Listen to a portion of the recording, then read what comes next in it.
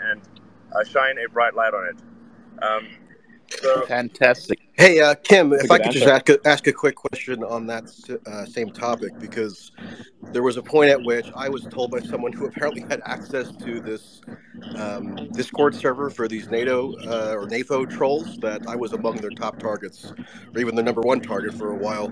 So I'm just sort of a personal curiosity. By the way, this is uh, Michael Tracey. Um, and um, and so, Elon, I'm just curious if you were able to detect or gauge any inauthentic activity on Twitter specifically related to this sort of pro-Ukraine faction, or you know, is there was there a particular sort of system that kind of connects those actors that you were able to discern since you've taken the helm?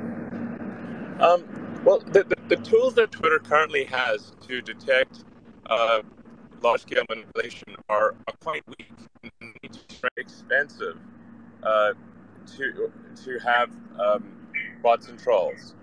It can't be like It's like a guy sitting in front of eight phones, right? That's just how they operate. exactly. It's like The, the farms are guys sitting in front of eight phones.